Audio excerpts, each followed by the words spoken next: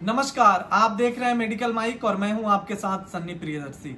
अभी हमारे साथ हैं शहर के जाने माने डॉक्टर और डायबिटीज़ पे हर रिसर्च में भाग लेने वाले और इंडिया के सुविख्यात डायबिटीज़ चिकित्सक जाने माने doctor doctor Ajay Kumar sir. तो अजय कुमार सर आपका मेडिकल माइक में बहुत बहुत स्वागत है। धन्यवाद। सर आज मेरा डायबिटीज़ पे आपसे ये पहला सवाल है क्योंकि डायबिटीज़ के जो पेशेंट हैं, वो पूरे भारतवर्ष में काफ़ी तेज़ी से डायबिटीज़ फैल रहा है। तो हमारा सबसे पहला आपसे यही सवाल होगा कि डायबिटीज़ क्या होता है? डायबिटीज़ की बीमारी में मूलतः किसी भी मरीज़ के शरीर में शुगर की मात्रा बढ़ जाती है, जिसे आमतौर से हम चीनी कहते हैं। हालाँकि चीनी कहना गलत होगा, क्योंकि चीनी में सुक्रोज और फ्रक्टोज दोनों होता है। लेकिन डायबिटीज़ में शुगर बढ़ता है, जो कि सुक्रोज होता है तो ये सबसे बड़ी चीज़ है जो हमें समझाने की ज़रूरत है जब आपके शरीर में चीनी की मात्रा बढ़ जाएगी, शुगर की मात्रा बढ़ जाएगी, और अगर बढ़ी रहेगी, उसे आप नियंत्रित नहीं रखेंगे तो शरीर के विभिन्न अंगों पे उसके बहुत सारे दुष्प्रभाव पड़ सकते हैं। आपके हृदय पर उसका असर पड़ सकता है, किडनी पे असर पड़ सकता है, आँखों पे असर पड़ सकता है, नसों पे असर पड़ सकता है तो इसी को हम डायबिटीज़ कहते हैं और इसे नियंत्रण में रखना बहुत ही आवश्यक है। सर मेरा अगला सवाल आपसे ये है कि जब किसी व्यक्ति को डायबिटीज़ हो जाता है तो अमूमन सामान्य तौर पे उनमें क्या लक्षण दिखाई पड़ते हैं? बहुत सारे तो ऐसे मरीज़ होते हैं जिनका ब्लड शुगर 200, 300, 400 तक रहता है और उन्हें कोई तकलीफ़ नहीं होती है कुछ कमज़ोरी लगी। लेकिन जो डायबिटीज़ के विशेष लक्षण हैं वो लक्षण वैसे होते हैं जिसमें बहुत ज़्यादा पेशाब करने की आवश्यकता महसूस होती है बहुत ज़्यादा भूख लगती है और उसके बावजूद मरीज़ का वज़न घटने लगता है। उसके अलावे अगर किसी व्यक्ति के आँखों की रोशनी में तेज़ी से गिरावट आ रही हो, उसे बार बार शरीर में घाव निकल रहा हो, या कोई ऐसा घाव हो गया हो जो छूट ना रहा हो तो ये तमाम लक्षण डायबिटीज़ के होते हैं। और इनमें से कोई भी लक्षण अगर दिखे, और खासकर आपके परिवार में किसी को पहले से डायबिटीज़ की बीमारी है तो आपको ज़रूर अपना ब्लड शुगर चेकअप करवाना चाहिए, और ये डायग्नोसिस कर लेना चाहिए कि आपको डायबिटीज़ है या नहीं? है सर बहुत सारे युवाओं में आजकल ये चिंताएँ रह रही हैं और वो अक्सर बात भी करते सुने जाते हैं, क्योंकि मैं भी एक युवा वर्ग से बिलोंग करता हूँ। तो हम लोग अक्सर ये बातें सुनते हैं कि पहले जो है डायबिटीज़ के जो केस होते थे, वो 40 वर्ष के बाद ही शुरू होते थे। लेकिन अभी के दौर में ये 30 साल के बाद शुरू हो जाते हैं। जिससे युवा काफ़ी इससे चिंतित हैं कि क्या इसके कोई प्रभाव, इसके असर हमारे वैवाहिक जीवन पर भी पड़ेगा? क्या हमारे बच्चों पे भी पड़ेगा? तो इसके बारे में आप क्या कहना चाहेंगे? डायबिटीज़ के संबंध में ये बहुत ही अहम प्रश्न है और इसका उत्तर पूरे समाज को जानना बहुत ही आवश्यक है।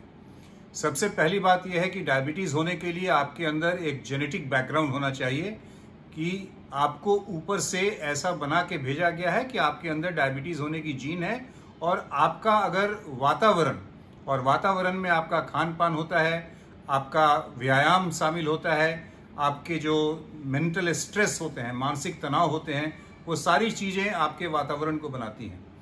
पहला अगर जेनेटिक बैकग्राउंड है और इसमें से बाकी एक चीज़ या सारी चीज़ मिल जाती हैं तो उससे डायबिटीज़ होता है।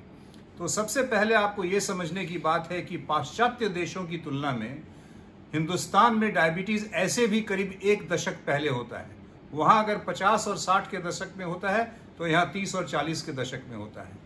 उसके ऊपर से हमारे समाज में इतनी होड़ लग गई है सफलता प्राप्त करने की, कि उसके वजह से हमारे जो युवा वर्ग के लोग हैं, वो बहुत ही ज़्यादा मानसिक तनाव में रहते हैं। और दूसरा जो आपने बहुत बड़ा चेंज देखा होगा कि जो खान पान की हमारी शैली पहले हुआ करती थी वो बिल्कुल बदल गई है। लाइफ स्टाइल में काफ़ी चेंजेस काफ़ी परिवर्तन हो गया है। पहले हम जो है सो अपने खेतों की ऐसे भोजन करते थे जिसको बहुत ज़्यादा पॉलिशिंग नहीं किया जाता था। पॉलिश राइस रिफाइंड व्हीट आज की तारीख में हम जितनी भी चीज़ें खाते हैं या फास्ट फ़ूड खाते हैं वो सारे रिफाइंड होते हैं। ओरिजिनल प्रोडक्ट कुछ भी नहीं होता है।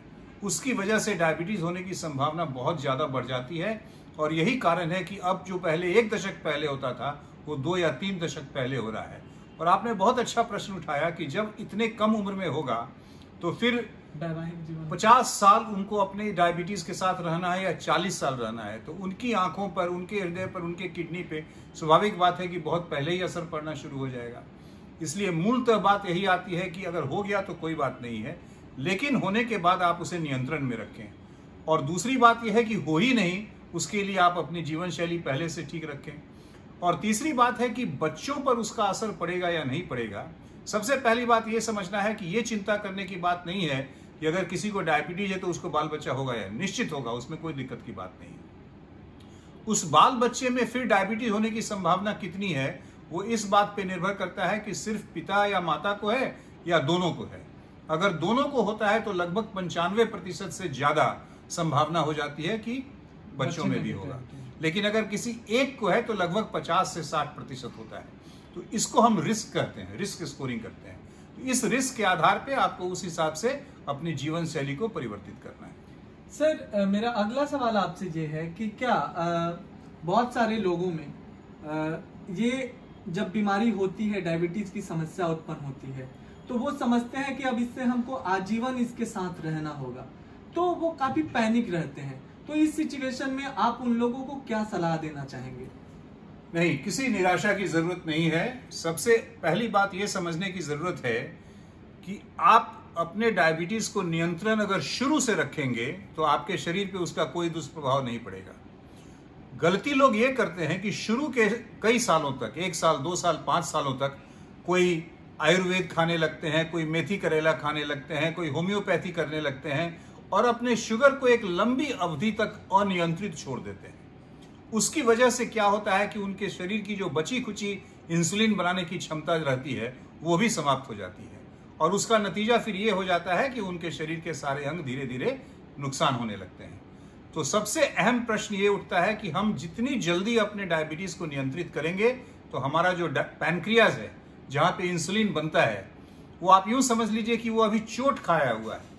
अगर आपने शुगर नियंत्रित कर लिया तो वो फिर से ज़िंदा हो जाएगा और फिर से इंसुलिन बनाने लगेगा। तो उसके बाद काफ़ी सालों तक आपके शरीर पे किसी तरह का कोई दुष्प्रभाव नहीं पड़ेगा।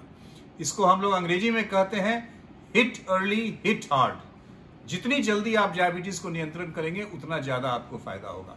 निराशा की कोई बात नहीं है, निराशा उन्हीं को हाथ लगेगी जो इस बात को नहीं समझते हैं और अपने डायबिटीज़ को नियंत्रण में नहीं रखते। सर अगर किसी पेशेंट को अगर डायबिटीज़ हो जाता है तो क्या वो पूर्णतः ठीक हो सकता है? अगर आपकी डायबिटीज़ की अवधि पाँच साल से कम है, और आप बहुत ही ज़्यादा अपनी जीवन शैली में परिवर्तित करने का जज्बा रखते हैं, तब ये बिल्कुल संभव है। आज की तारीख में एक वर्ड है जिसे हम डायबिटीज़ रिवर्सल या डायबिटीज़ रेमिशन कहते हैं। यानी बिल्कुल से आप डायबिटीज़ को खत्म कर सकते हैं। लेकिन उसको खत्म करने के लिए क्या करना है, इस बात को ठीक से समझ लीजिए। 10 से 15 प्रतिशत अपने शरीर के वज़न को आप कम कीजिए, जो आप कर सकते हैं। अगर आप अभी जैसे मान लीजिए कि आप 2000 कैलोरी या 2500 कैलोरी रोज खाते हैं, उसकी बजाय आप 800 से 1200 कैलोरी का खाना खाएँ, लेकिन बैलेंस डाइट खाएँ, नियमित रूप से व्यायाम करें, मानसिक तनाव से दूर रहें तो बहुत सारे ऐसे लोग हैं जो डायबिटीज़ के अर्ली स्टेज में, यानी एक साल, दो साल, लगभग पाँच साल तक आपको बिल्कुल दवाओं की ज़रूरत नहीं पड़ेगी। लेकिन आप चाहेंगे कि 10 साल पुराना आप डायबिटीज़ हो गया और तब मेरा वो डायबिटीज़ रिवर्सल हो जाए, वो संभव नहीं है। दूसरी बात है कि आज की तारीख में बहुत सारी ऐसी नई नई दवाइयाँ आई हैं, जो ना तो सिर्फ़ ब्लड शुगर को नियंत्रित करती हैं, बल्कि वज़न घटाने में भी काफ़ी मदद करती हैं। उस ग्रुप की दवाइयों को लेने से भी काफ़ी सकारात्मक प्रभाव पड़ता है। और उस तरह की दवाओं को अगर आप शुरू में अर्ली स्टेज में लेंगे तो उससे भी आपका डायबिटीज़ नियंत्रण होके और फिर अपनी जीवन शैली में भी चूँकि आप उतना ही योगदान दे रहे हैं तो शायद आपकी दवा भी बंद हो जाएगी। तो ये सब बिल्कुल इस बात पे निर्भर करता है कि ये तमाम जो व्यवस्था आप कर रहे हैं, वो किस स्टेज में कर रहे हैं। जितने अर्ली स्टेज में करेंगे, उतना ज़्यादा फ़ायदा होगा। यहाँ तक कि डायबिटीज़ के पहले एक स्टेज होता है जिसे हम प्री डायबिटीज़ कहते हैं, जिसे बॉर्डर लाइन डायबिटीज़ बोलचाल की भाषा में कहते हैं। अगर उसी स्टेज में आप ये सारी चीज़ करेंगे तो कई सालों तक आपको डायबिटीज़ होना भी है जेनेटिक बैकग्राउंड भी है फिर भी आपको डायबिटीज़ नहीं होगा। तो ये बात समझने की है कि काफ़ी अर्ली स्टेज में ही आप अपनी जीवन शैली में परिवर्तन लाने की कोशिश करें। बहुत बहुत धन्यवाद सर आपका मेडिकल माइक में जुड़ने के लिए और इतनी अहम जानकारी देने के लिए। धन्यवाद।